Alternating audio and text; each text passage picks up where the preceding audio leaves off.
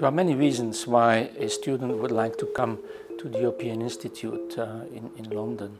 Uh, one, of course, is the fact that the European Institute is uh, part of uh, the London School of Economics and, and that's really a great place to be. It's a, a place where students from all over the world come, professors also from all over the world teach there and, and as a result you are really involved in an exciting intellectual environment that allows you to understand uh, the problems that uh, we face in this world.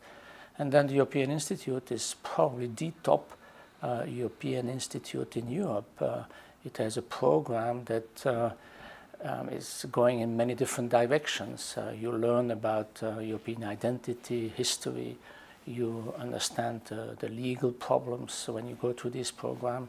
And, and also it focuses a lot on economic problems and in particular today these economic problems have become quite important. Uh, we, we face deep crisis in the Eurozone today and, and the program you get there also allows you to understand better um, what is going on, how this can be solved, uh, in which direction the Eurozone will, will evolve. So the European Institute really um, allows you to go through um, a, a, phase of studying that uh, will make you prepared to understand um, the main problems in the European Union and also gives you the technical um, expertise that uh, will allow you then later on to find uh, very interesting jobs in many different uh, institutions, both uh, private sector as the public institutions.